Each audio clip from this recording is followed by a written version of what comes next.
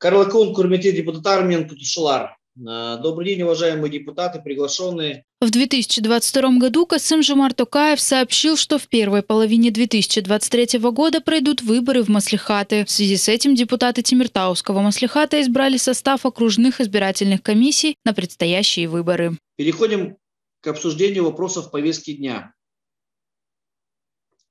В связи с изменениями, внесенными в Конституционный закон о выборах в Республике Казахстан, нам необходимо избрать состав окружных избирательных комиссий.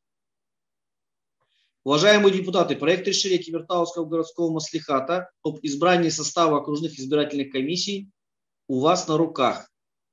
Есть вопросы, предложения к данному составу? Нет вопросов, предложений.